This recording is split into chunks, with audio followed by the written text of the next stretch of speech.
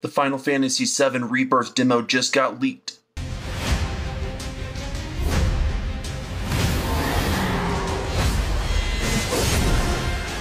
You up for a little exploring? Get its attention. On it! Tifa, I'm in! Come on.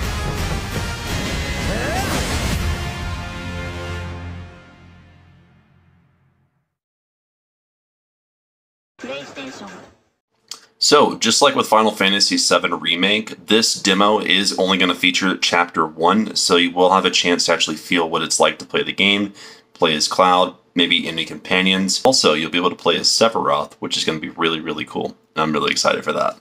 What do you think? Will you be picking this up when it comes out?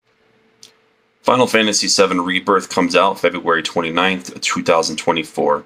I'll definitely be grabbing this one myself, and I'll see you guys in Midgar.